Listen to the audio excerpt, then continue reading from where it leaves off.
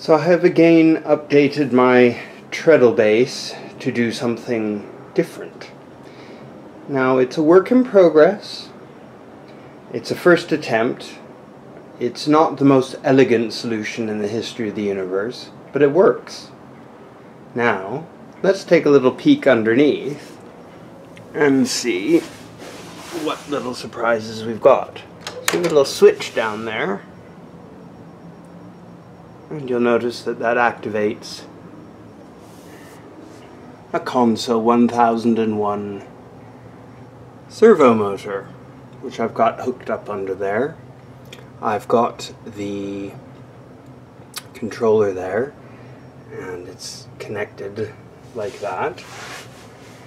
And the reason is because that way I can switch back and forth between treadle and not treadle. So how have I done this? So you're wondering why there's a pink bungee cord there. Um, and the reason is because I need to add tension to this so that it doesn't slip. So I've ordered some larger um, belts, but in the meantime I've got the one that's not hooked up there just waiting so I can flip back and forth and this one. And then I've used a turnbuckle here to push it out so there's a bit of tension so that it doesn't rub on the holes up there. Now this adds a bit of extra tension so that it doesn't slip but not too much so that the cable will last.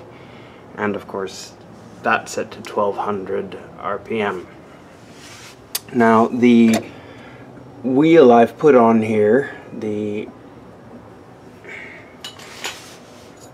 that was the original at 75 millimeters and what I have on there is a 45 millimeter one to reduce the speed.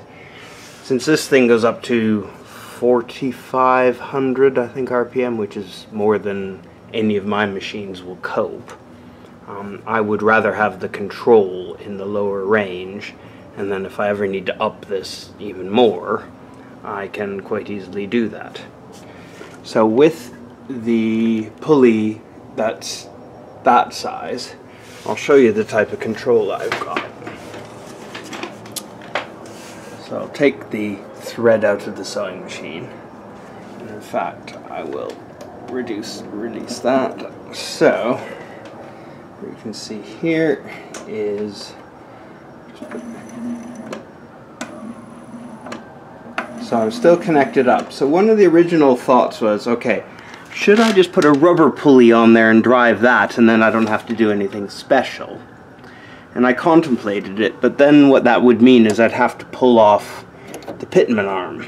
And I thought, well, okay, it's one nut and I could do that. But ultimately, I decided to go with this approach, which means I've got two separate mechanisms under there and I just switch back and forth. It's super easy to do that. Let's hear the sound of the motor hear it just running and spinning in there. And it locks.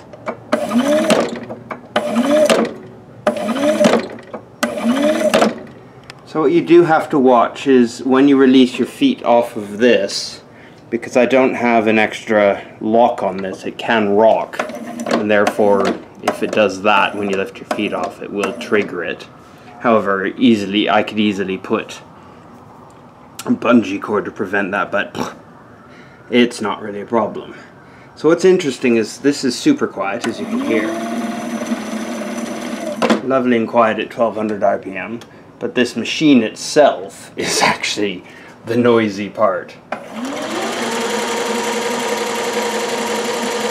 So when I put my uh, on this, or my 411G, it would be far quieter because it's quite a noisy machine with the gears, but it's quite manageable. And of course, I also have, as you can see, the control arm that's still there working.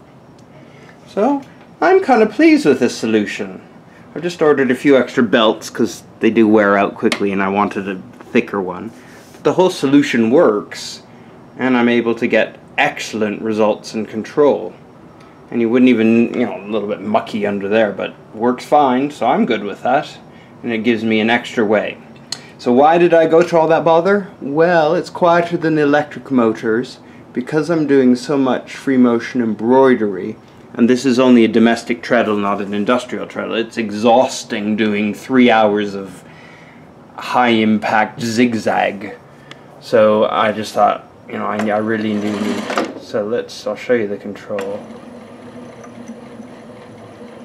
So it's good for free motion embroidery. You can do. You can get that slow going, or you can go full speed. Now the one thing I haven't activated yet, but will do, is the needle control.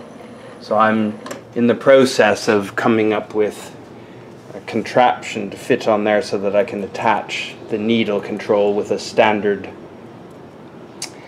uh, flywheel rather than the industrial flywheel because it hooks on a nut on the end. So I've got to get a magnet or a contraption that goes over top to attach that and then I'll be able to move that on pretty much any of my machines as well.